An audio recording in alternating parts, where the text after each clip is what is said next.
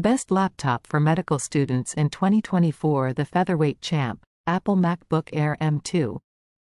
This ultra-light powerhouse is like a trusty study buddy.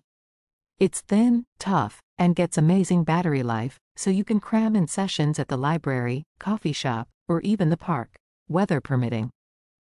Plus, the comfy keyboard and built-in security features make it a dream for late-night study marathons. The all-around all-star, Dell XPS 13. This sleek laptop is a crowd pleaser. It's got the muscle to handle most tasks you throw at it, from complex software to browsing endless medical journals. The gorgeous screen makes everything pop, whether you're video conferencing with professors or unwinding with a quick YouTube break.